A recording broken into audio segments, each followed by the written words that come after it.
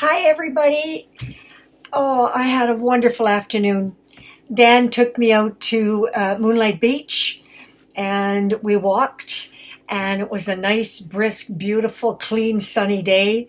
And the air was nice and high pressure cold, which I love.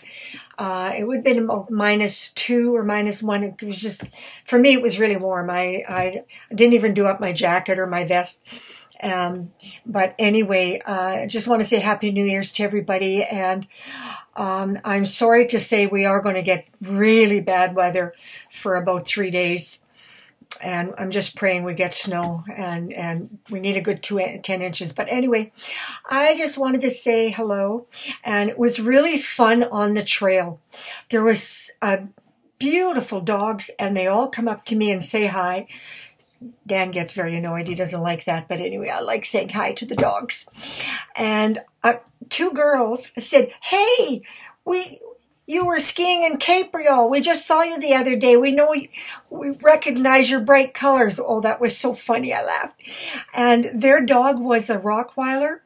And he was so friendly and so cute. And he rolled around in the snow and in the, on the ice. He just flip flop back and forth. Oh, it was so cute. I wish I had my video cam with me to take a picture of this dog.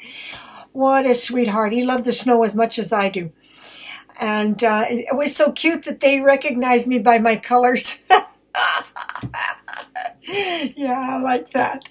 So anyway, um, just want to say hi and a special shout out to Connie, my sweetie pie.